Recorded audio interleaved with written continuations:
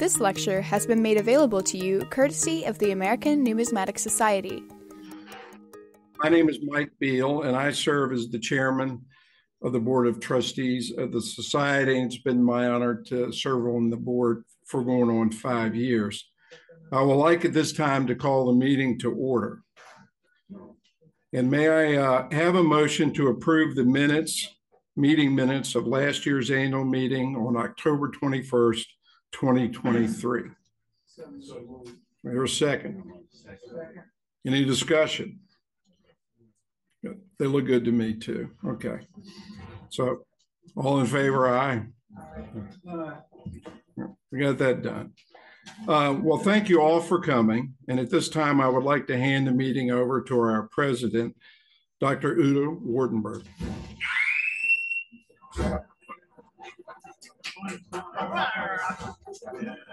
All right. Well, excellent. Um, so welcome to you all. And it's wonderful to have so many of you here.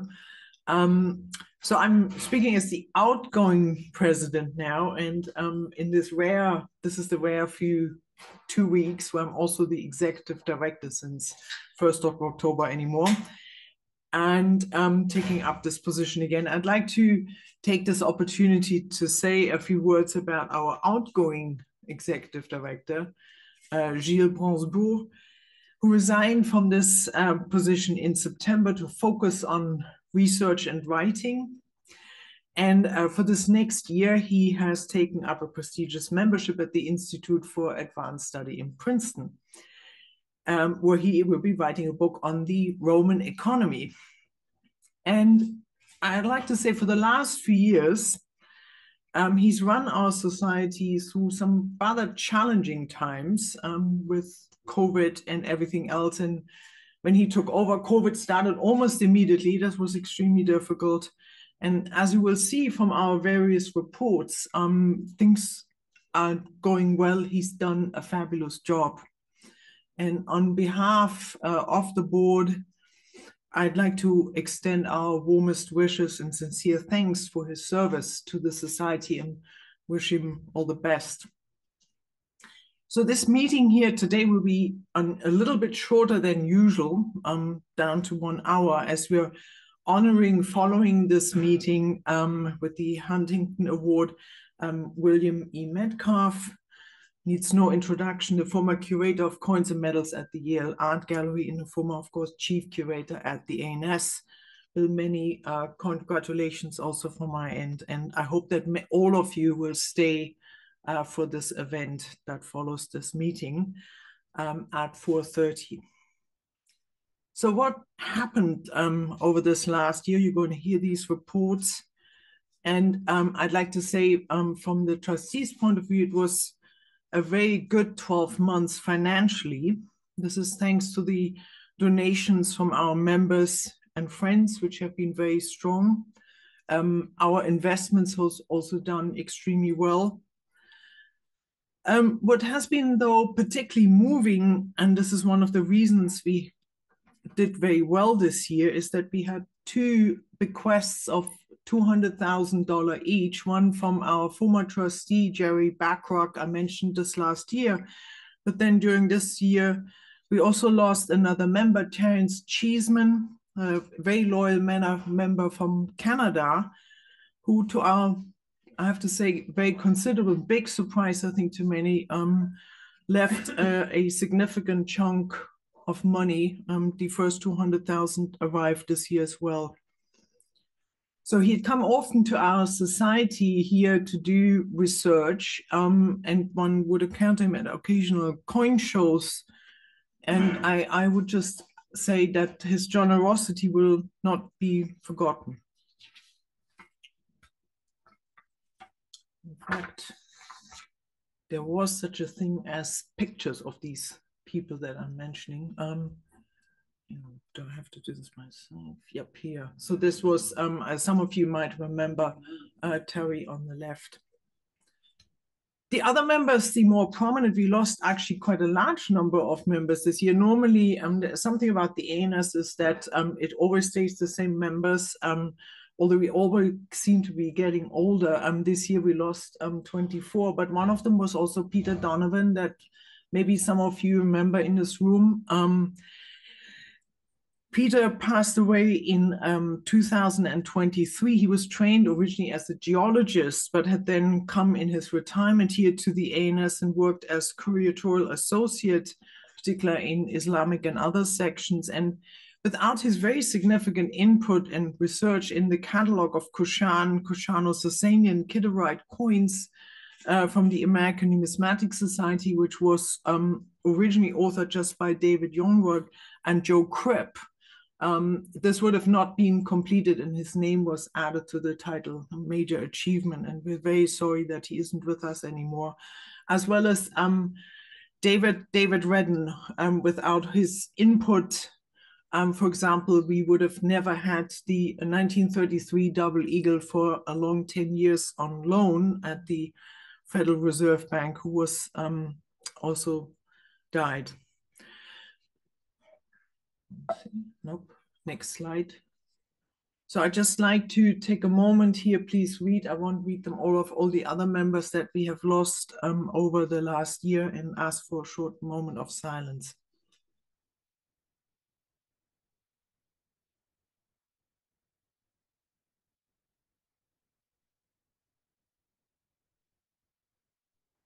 Thank you.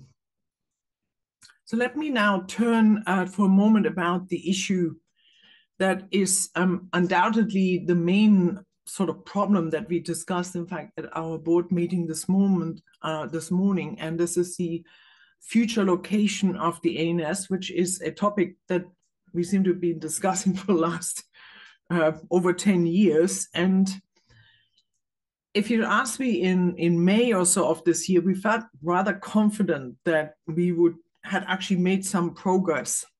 And as some of you know, the ANS had discussed with several universities about a possible collaboration. It was initially University of Chicago that um, fell through once there was a change of leadership, and the University of Michigan then came through with a small piece of land. We developed a whole project with our architect, uh, Sam White, and his team. We developed a plan the discussions with the university administrations are ongoing, but I would mislead you if I were to say they look promising. Um, this is perhaps even an understatement.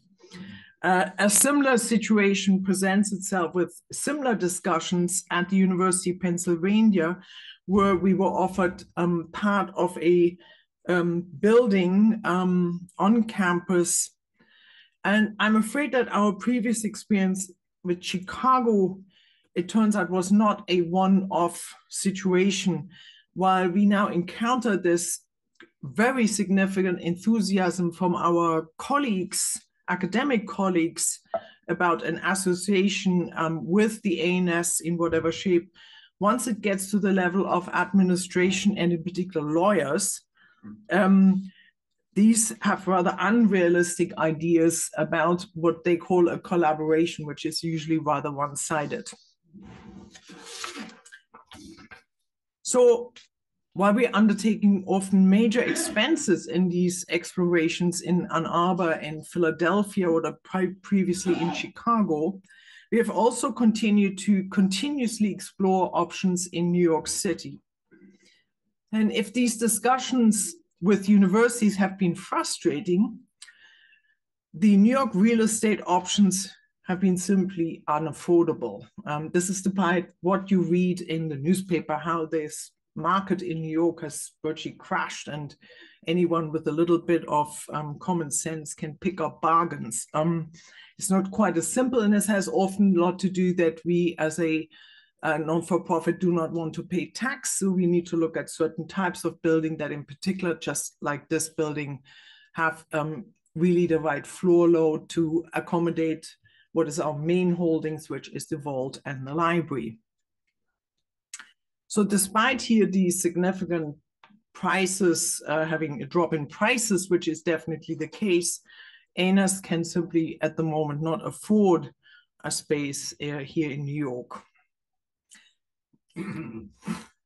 We have therefore begun to explore a slightly different approach here by looking at cities where someone might actually want us. And we're looking generally at places that are in the vicinity of a major international airport and a university, but not looking again at um, direct collaboration. So keeping uh, the ANS independent while reaching also out uh, to a broader public, perhaps, so that it isn't just academics uh, and the more serious collectors that sustain um, this organization for the future. This debate is ongoing, but we feel at some point we need to make a decision, although it hasn't quite come yet. Um, what we learned over the last decades in these long discussions has been actually extremely helpful. I mean, they weren't just in vain and for nothing. We we also learned there is no such thing as an ideal place. You know, there's a certain part of America, or it's New York City, or it's a type of building. And we have to basically live with a certain amount of change um, and deal with it as our predecessors did in the past. And here I'm always reminded how bizarre it must have been when Archer Huntington decided that Audubon Terrace, which was farmland, was the right place for this whole museum complex, which which worked for a great number of years, um, and then it didn't anymore. And maybe that is a lesson here. So in closing, um, I want to thank uh, the trustees. There's quite a lot here present today, the staff in particular, um, but also the members and volunteers here of the ANS. There's so many people always involved with us. Um, for all they do, the ANS wouldn't really be and this is why it is really rather an enjoyable place. And if anyone feels they want to get more involved for whatever reason um, we're always looking for you know ideas projects people um, you know where we all are and i know many of you um, are already involved and i hope you enjoy the presentations um, that are going to come now thank you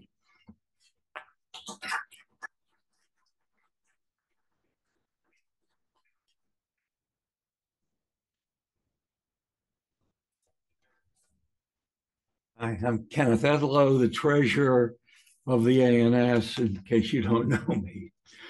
Uh, I'm going to speak just for a brief moment about uh, the financial situation for the year that ended September 30th, 2024. According to our financial statements, the, uh, in terms of gifts, we received uh, $1.2 million in total, including the two that in particular that Ute just mentioned, $200,000 each from Jerry Bacharach, a former trustee and a loyal friend of the ANS for years, and Terrence Cheeseman, whose picture was up on the screen. The operating budget deficit came in in the for the year at minus $200,000, which we don't consider awful or con- of particular concern. Um, on the other hand, the portfolio, our investments increased in value by 8.2 million during the year. And at the end of the fiscal year, September 30th, our endowment stood at $51.1 million versus 48.4 million exactly one year earlier.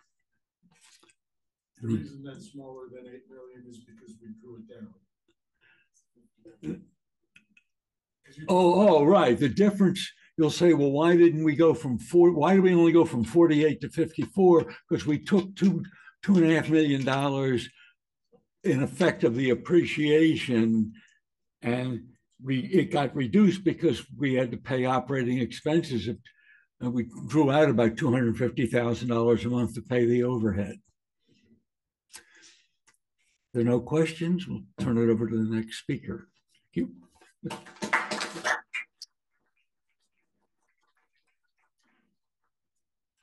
A full house.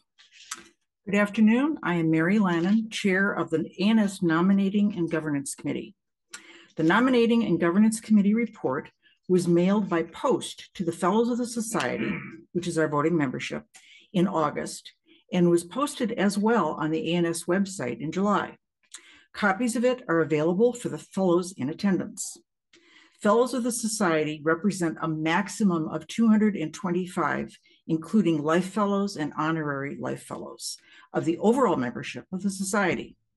As of this afternoon, we have 217 Fellows.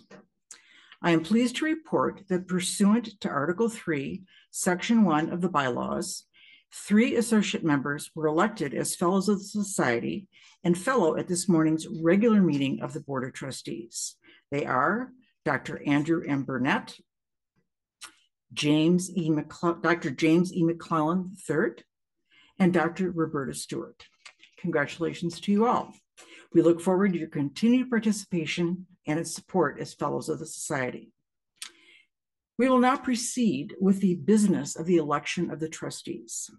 Fellows of the Society are entitled to vote at this meeting. As per Article 4, Section 6 of the bylaws, 20 fellows present in person or by proxy shall constitute a quorum. All fellows present were asked to sign in. If those fellows present have not signed in, please sign in now with Rebecca Cohen Rager, Assistant Director of Administration. And if by chance anyone is holding proxies, please present them now also to Rebecca. So Peter, you look like you're, okay. Peter is not a fellow of the society and he's, he's entitled to count the proxies. 74 proxies.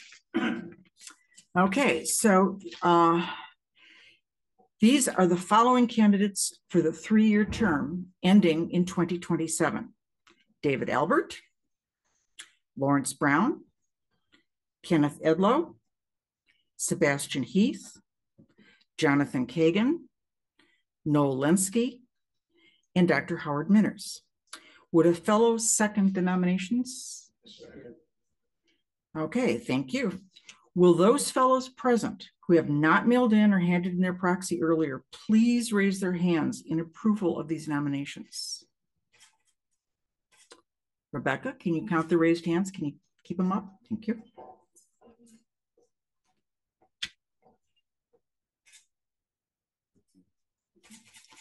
So we have a total of 87. All right. So we have everything totaled. Thank you very much. The trustees have been elected.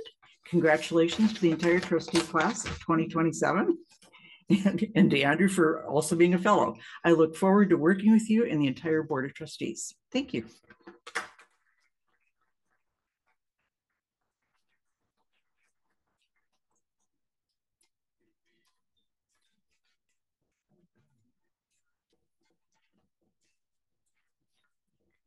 Am I able to advance the slides here? Looks like I'm not. Okay. So I guess I'll just, can you put up the first slide, Ben?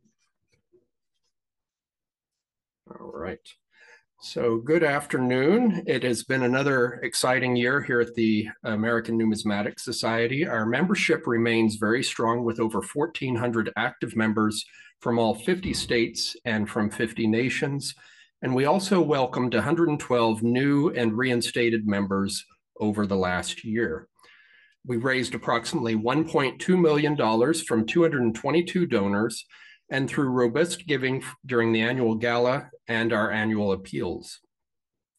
Every gift, large and small, goes a long way to helping us realize our mission in the advancement of numismatic knowledge and service to our members, and we are truly grateful for your ongoing support and commitment, and we would like to thank each and every one of you for being here and for supporting the ANS in all that you do.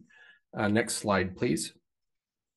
The annual gala in January was a success, raising over $220,000.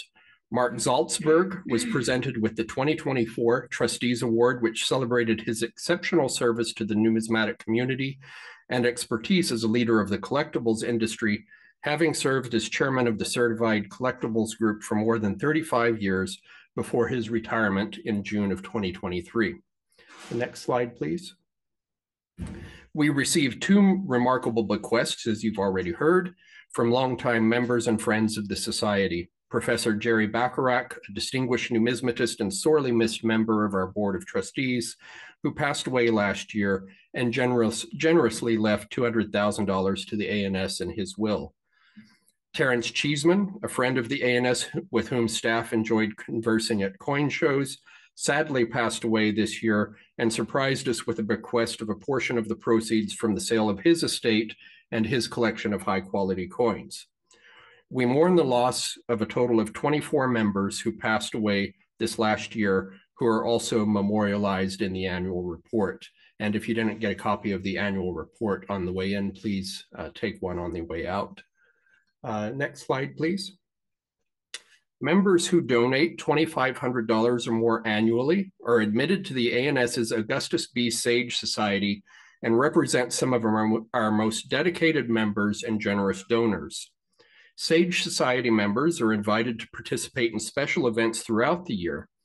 This year, Sage Society members toured the Medieval Money, Merchants, and Morality exhibit at the Morgan Library and Museum, where many ANS objects were on loan and which also benefited from the substantial input of our very own David Yoon.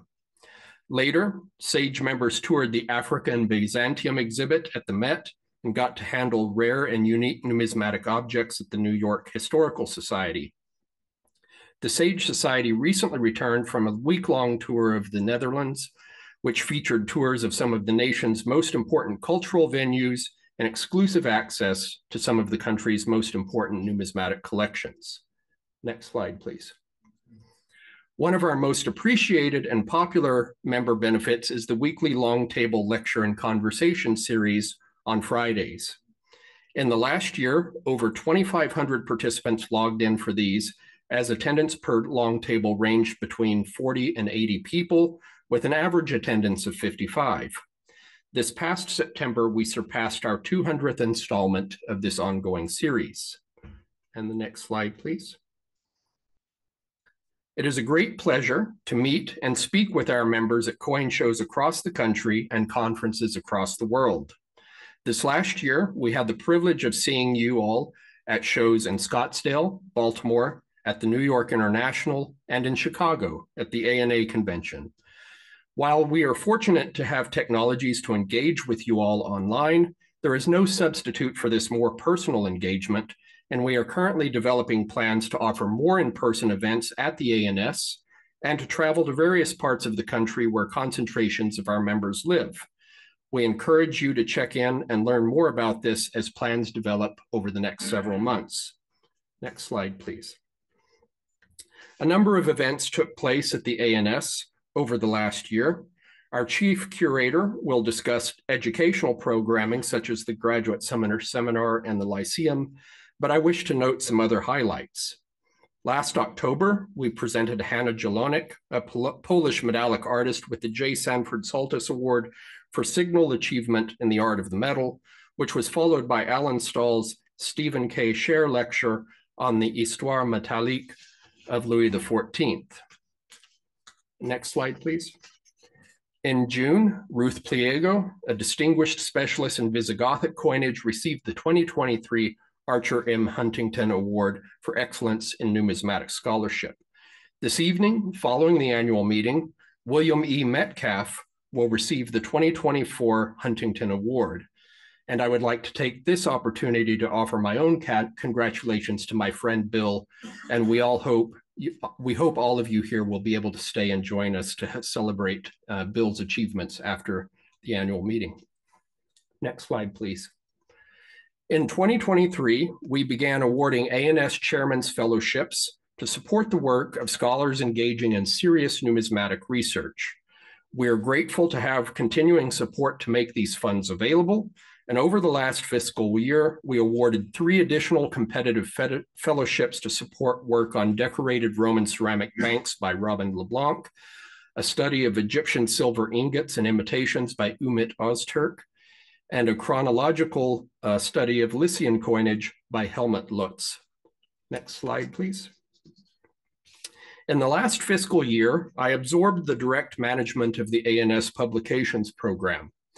In that time, we have focused on efficiency, both in terms of improving the production process from submission to publication and in terms of fiscal responsibility and sustainability. To that end, we have, for example, identified new mailing partners to reduce costs associated with the distribution of our periodicals internationally, and we actively fundraise for new book projects. Three new books were published in the last fiscal year, and I have them on the screen here. Elena Stolyarik, who is here with us this evening, uh, Scythians and the Greeks on the Western Black Sea, published also jointly with uh, John Kleeberg. Um, our curator, Lucia Carbone, Local Coinages in a Roman World, the catalog of the Richard B. Witschonke collection. And then Anna Blomley, the bronze coins of Eastern Mount Ossa um, in the Thessalian Periokic region of Magnesia. Next slide, please. Over the next year, you see we have a lot to do. Over the next year, we expect to publish five new titles, uh, including the highly anticipated uh, Coins of the Ptolemaic Empire Part 2. Uh, next slide, please. ANS Publications received four Numismatic Literary Guild Awards in the 2024 Writers Competition, which includes the ANS magazine having been named the best club or not-for-profit periodical. And here I want to, of course, acknowledge, thank, and recognize our chief curator who serves as editor for that publication, Peter Van Alfen. Next slide, please. I wish to thank all of our volunteers and staff involved in making the ANS stand out among publishers of serious numismatic research.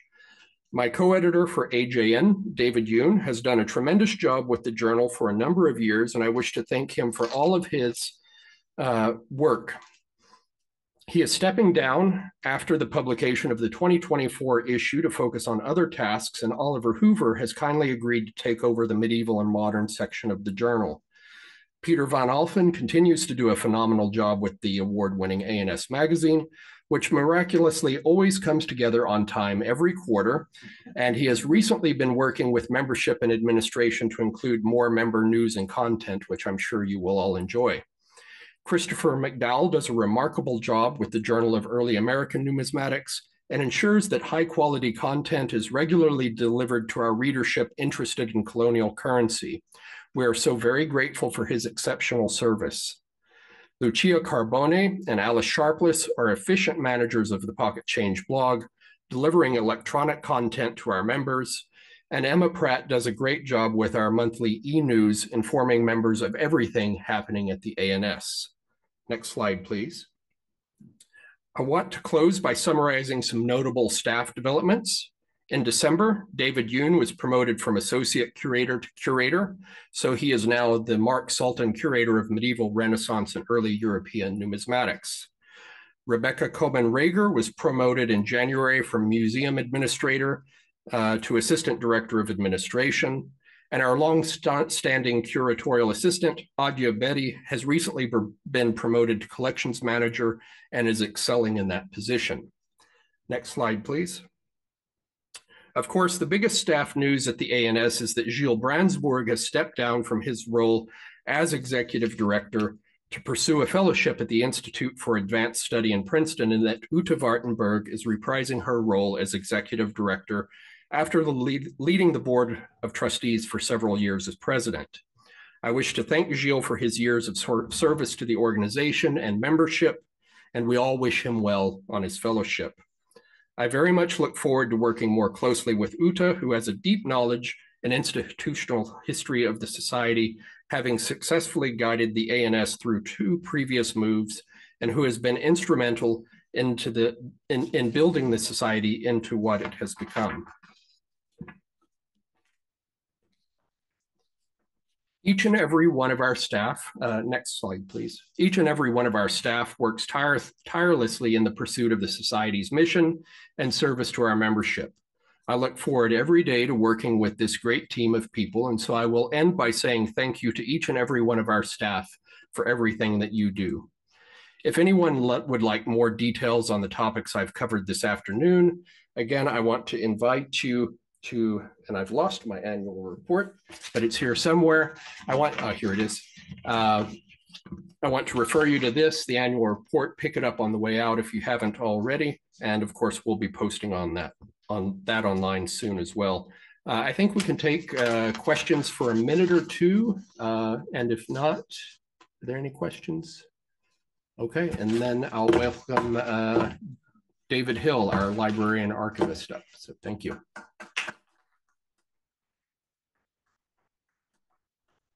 Okay, thank you, Nathan. All right, slide, please. Okay.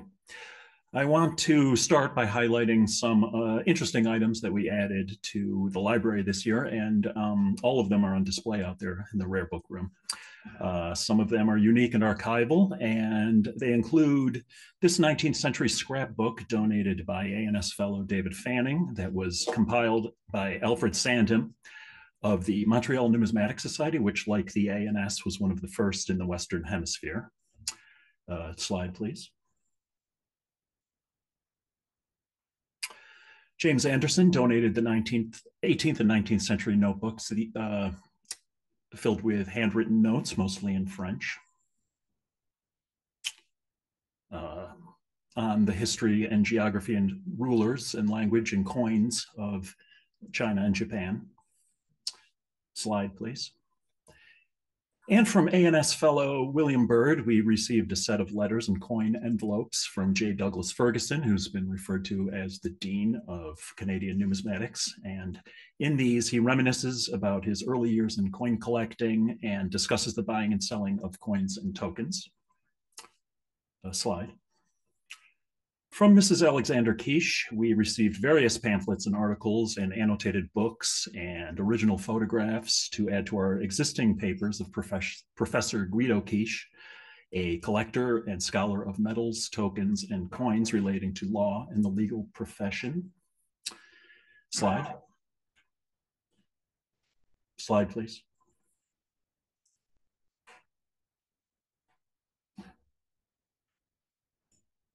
Slide.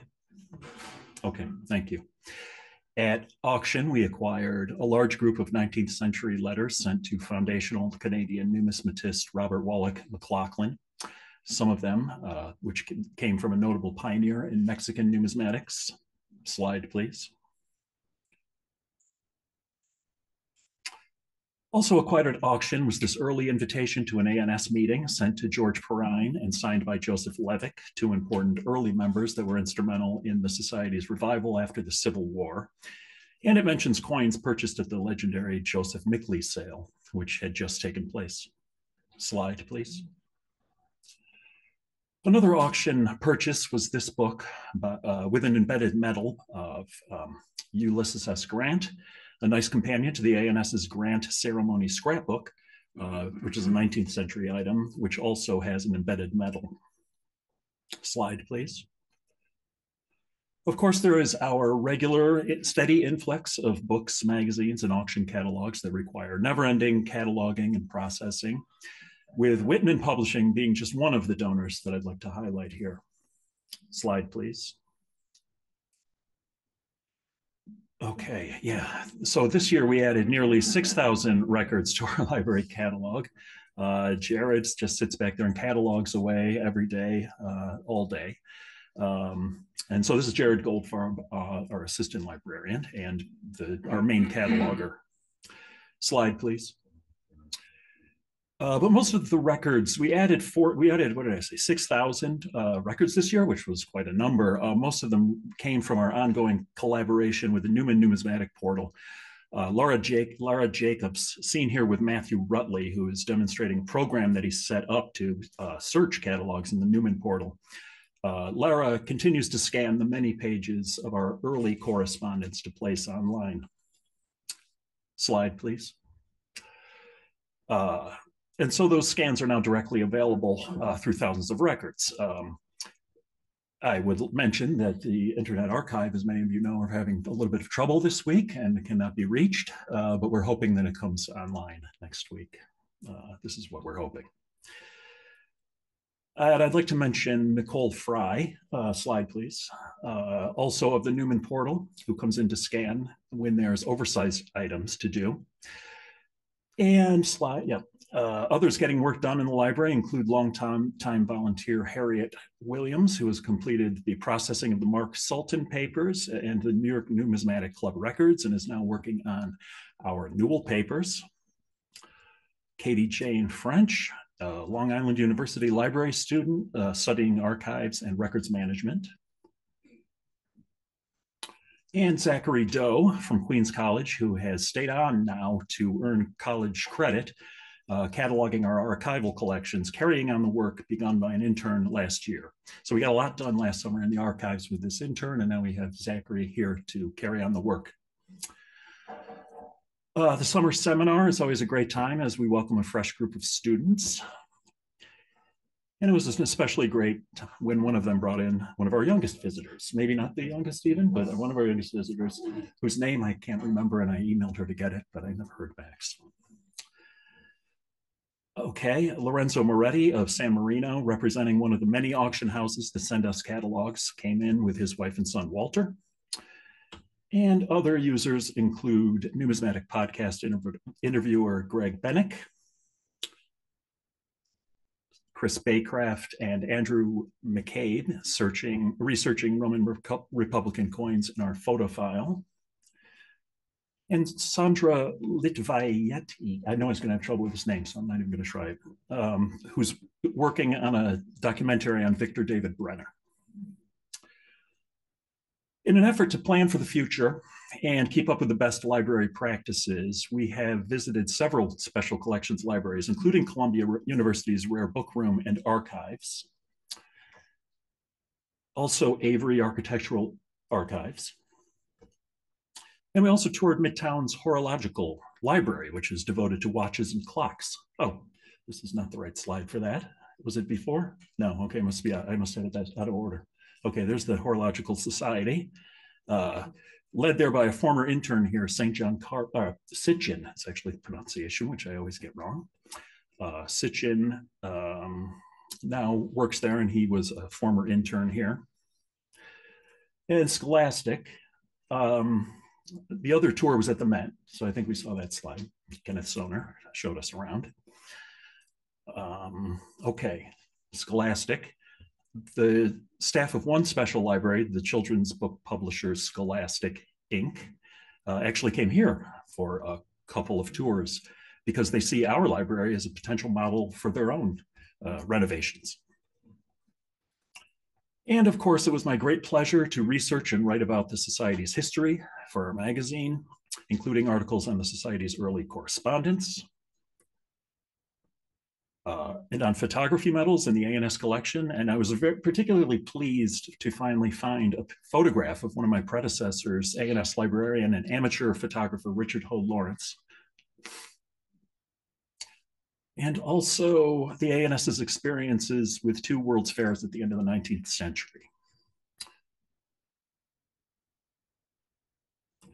I would like to thank everybody that's contributed to the library this year and to the archives. Um, we have two slides to thank. It was a banner year. And now I'd like to hand it over to our chief curator, Dr. Peter Van Alfen.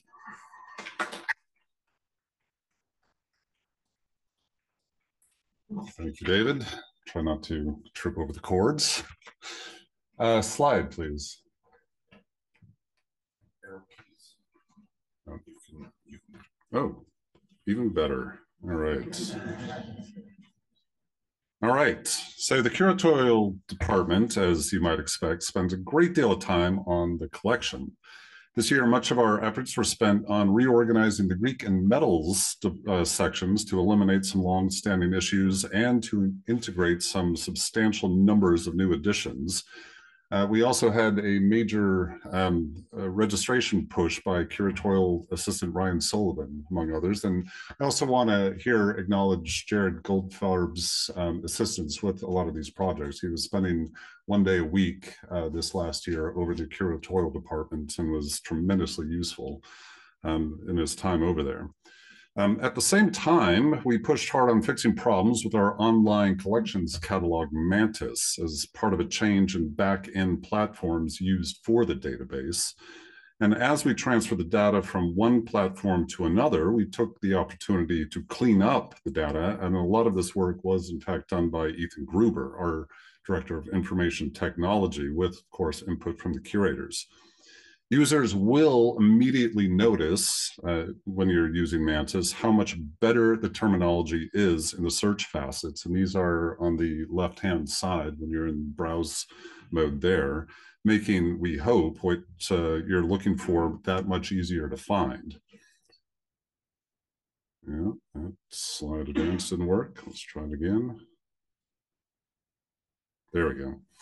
Users will also notice a great deal more standardization on the pages for collection items themselves, as well as enhanced mapping and image features. Controlling and standardizing the terminology on our catalog pages, a hugely important task for any digital catalog, is made possible in part through the online numismatic thesaurus, nomisma.org. And the little arrows that you see here, next to some of these terms are in fact links to nomisma.org. And if you click on those little arrows, it will take you to the relevant nomisma uh, page, such as this one, that defines and controls tetradrachms. So those terms then are controlled and essentially standardized through nomisma.org. And this, in fact, was something that was established at the ANS nearly 15 years ago and is still hosted by the Society. It has, in the meantime, grown into a large international collaborative project, and several, several of us on the curatorial staff, myself, Ethan Gruber, Jesse Kraft, and David Yoon, um, sit on various numismatic committees working to establish controlled terminology for all of numismatics, which again will greatly benefit our own online catalog as this continues. Aside from our online collections catalogs over the course of this last year, we also took part in the development and enhancement of other digital resources, including the soon to be launched Levantine Coins Online. And this is a, a, joint project between ourselves and some Israeli colleagues. Um, it has been funded by a grant from the Israel Science Foundation. And this uh, digital resource will um, initially be focusing on the coinages of Judah, Philistia, and Samaria. We hope to have an official press release and announcement in the next week or two, so stay tuned. Um, at the same time, we also uh, made a lot of progress um, on the Roman Republican Die Project, and this is under the direction of Lucia Carbone and Alice Sharpless, and this has been funded by the Arete Foundation. After 22 years of directing the summer seminar, I, which is our flagship educational program, um, this is, of course, the Eric P. Newman Summer Graduate Seminar. I turned the reins over to Lucia Carbone, who did a marvelous job welcoming nine students and our visiting scholar, Dr. Ruth Pliego, um, who, as we heard earlier, won the 2023 um, Huntington Award um, welcome them all to what we um, affectionately call the Numismatic Boot Camp. This is a June, July eight-week program that has been going on since 1952, more or less um, continuously. Um, Alan Roche, of course, uh, every year has taken the opportunity to create a highly creative class photo. And this year's photo, as you can see on the left, had Hong Kong Noir as the theme.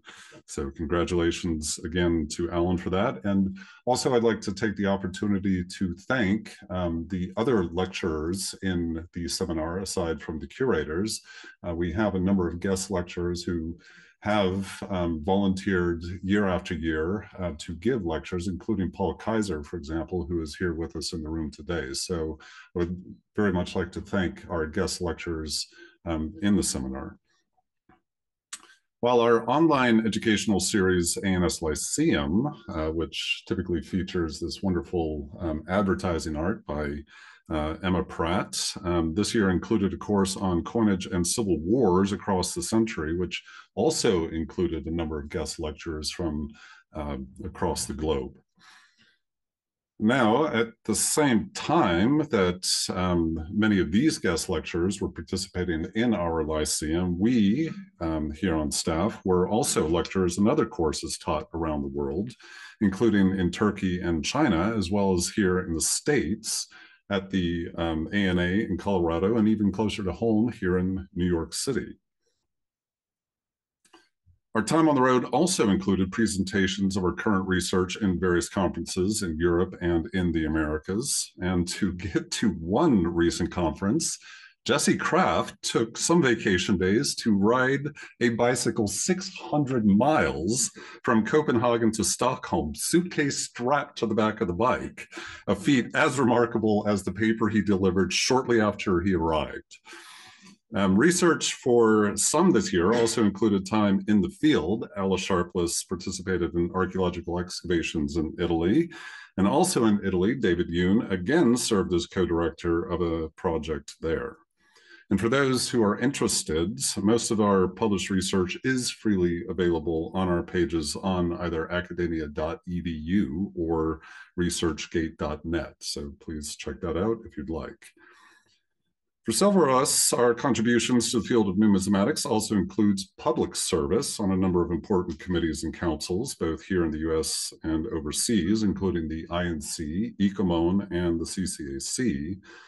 And before wrapping up here, I also want to take a moment to thank this year's volunteers and interns, including Beatrice Klieger, who returned this summer to help with a cataloging project, um, Eric Kraus and Scott Miller have been longtime volunteers and, as always, have been uh, very helpful for various projects. And now for something a little different. Um, at this point, I would typically ask our collections manager, Adia Betty, to come up to the podium and to present this year's new acquisitions and some discussions. But we decided to try something different with the help of our ANS production team, Ben Hibner and Alan Roche. So gentlemen, if you would please.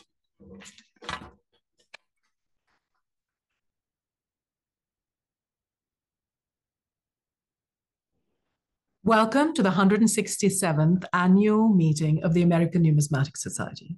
We here are the curatorial staff, and we would like to thank our donors and our members for their generosity. We have received about almost 2,000 objects in donations this year, and they range from medals and uh, exchange valuables, paper currency, tokens. Um, it's a great, great, uh, great group of objects. And you have kept us busy this last year. sure have. Um, each one of our curators here wants to highlight a specific object from their department.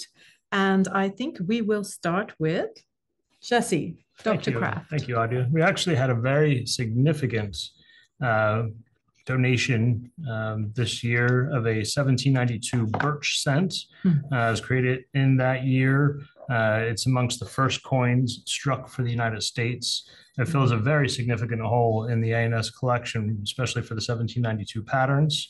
Uh, it was made by uh, Bob Birch or Robert Birch, Mhm. um, who is a uh, an engraver in Philadelphia in 1792. Um, it's a very beautiful example with most of its details still there. I can see it says uh, Liberty, parent of science and industry, Hmm. and you can tell that uh, you know the the, the formers of the uh, American coinage uh, were really trying to um, espouse science and Mhm. liberty as as being uh, integral to their mission. Um, the reverse, is uh, United States of America, one cent within a wreath, uh, which was pretty standard from uh, then until the mid 19th century. So we're very lucky to have this donation from Dr. Arnold Peter Weiss, and, uh, and we thank him very much. Fine. David.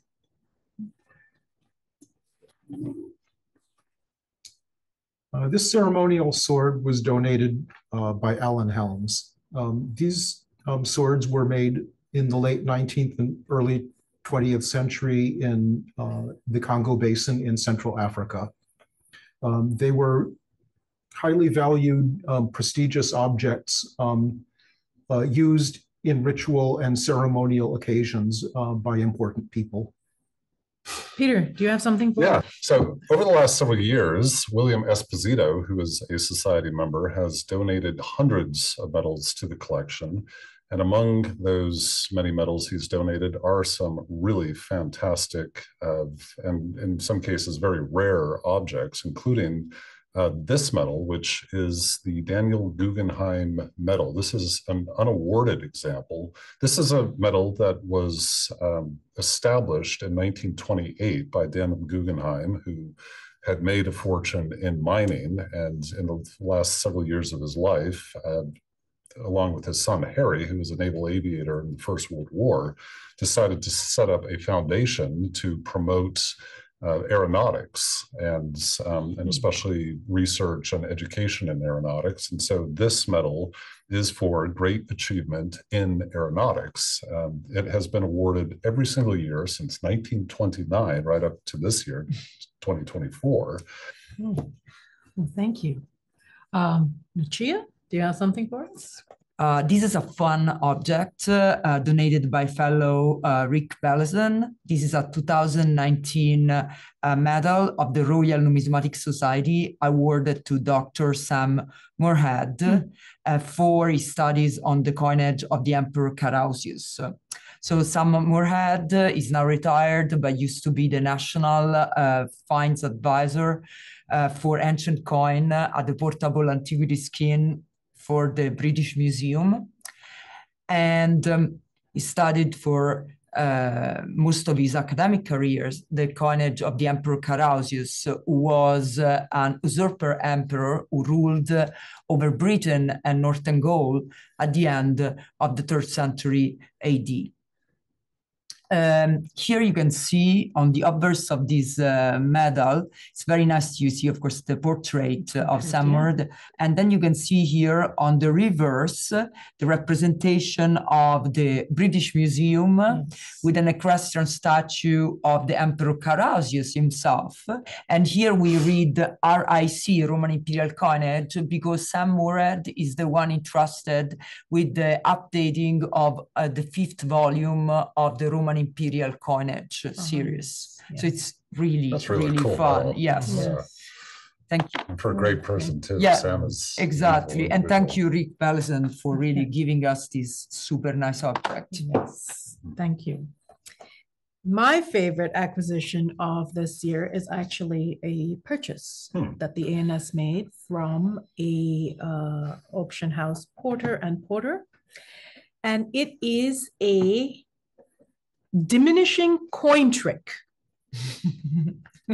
And this was used in Britain in 1950 by a very famous uh, sleight of hand magician and card expert, uh, Graham Adams. Could you give us a demonstration? Oh, yes. Uh, I'm, I'm not very good at it, but you know, I can try. So in front, we have the, uh, the uh, five shilling, the thick five shilling piece. And that's usually in front. Uh, and you do something like an abracadabra. And, uh, yeah. well, guess what? It's a little bit smaller. Oh, You need to practice a little bit, I- I perhaps think- the sleight of Yeah, but yeah, yeah. still. Well, anyway, and then you know it goes gets smaller and smaller until you have a very small, the one p uh, coin, and then that disappears as well. That's it, I think, for our uh, the highlights of our acquisitions. And um, thank you so much for joining us. Um, if anybody has something that they would like to donate to the American Numismatic Society, please contact the curatorial staff. Thank you again. Thank you again.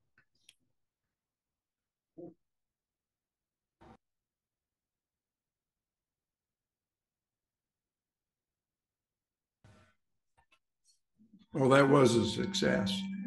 And uh, I think you'll all join me in uh, a round of applause to our staff who presented and are such a key part of what we do.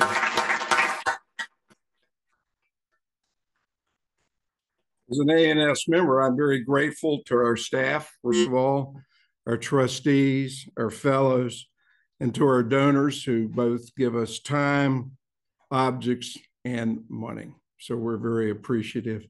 Um, we'll adjourn in a minute if there are no further questions or ideas. And I would invite you to join us for refreshments to my right towards the library, but not in the library. David doesn't like that. And for you to um, stay and see the award for Dr. Metcalf and hear his presentation. So we will declare it officially adjourned and thank you so much.